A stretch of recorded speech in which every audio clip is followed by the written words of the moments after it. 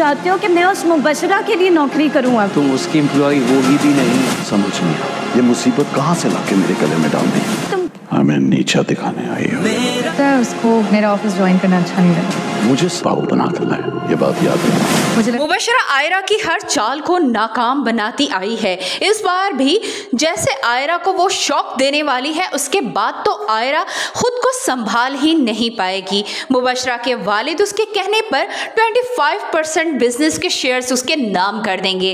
मुबशरा को वो खुद कहेंगे कि वो ऑफ़िस जाए। आसिफ साहब भी यही चाहते हैं कि आयरा का तोड़ इसी तरह किया जाए कि मुबशरा ऑफ़िस जाए। दूसरी तरफ़ आसिफ साहब आयरा को भी समझाएँगे कि वो ना चाहने के बावजूद भी उसे बहू बनाकर लाए हैं तो बेहतर यही है कि वो घर का फर्द बनकर रहे। आयरा ऑफ़िस नहीं जाएगी मुबशरा। जब जैद के साथ ऑफ़िस जाने के लिए घर से बाहर निकलेगी तो ये देखकर आयरा बर्दाश्त नहीं कर पाएगी। यही बात मुबशरा जैद से कहेगी कि लगता है आयरा को उसका ऑफ़िस आना पसंद नहीं आया। और नहीं चाहती कि मुबशरा ऑफ़िस आए।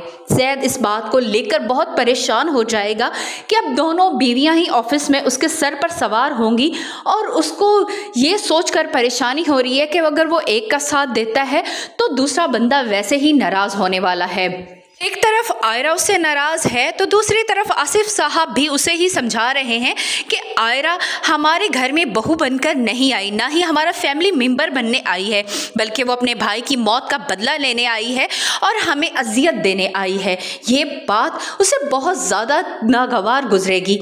जब आयरा के पास जाएगा तो आयरा ने एक अलग ही खाता खोल रखा होगा। उसे लगेगा कि मुबशरा अब ऑफ़िस आने लगी है तो वो मुबशरा की मुलाजिम बनकर काम नहीं कर सकती। जब जैद उसे समझाने की कोशिश करेगा तो आगे से वो यही कहेगी कि मुबशरा के होते हुए उसकी कोई अहमियत नहीं है, इसीलिए वो मुबशरा को छोड़ दे तो ही बेहतर होगा। नाजरीन, आपको क्या लगता है, मुबशरा आयरा का हर बार नाकाम बनाती आ रही है तो वो जैद को हासिल कर सकेगी या नहीं?